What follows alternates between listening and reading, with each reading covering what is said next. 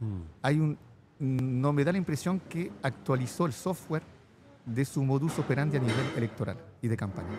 Y yo creo que es imperativo que lo actualice.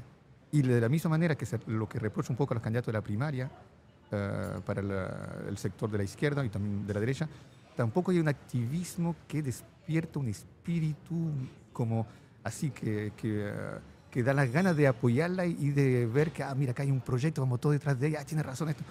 Hay un ritmo bastante suave en su campaña. Mm. Y tú lo puedes ver, la cantidad de visualizaciones que tienen sus videos, la cantidad de likes, son pocos. No, no hay ninguno que va más allá de los 100, 150. Entonces, yo creo que ahí también debe haber una concientización que si se quiere el cargo realmente de gobernador o gobernadora, hay que hacer mucho más.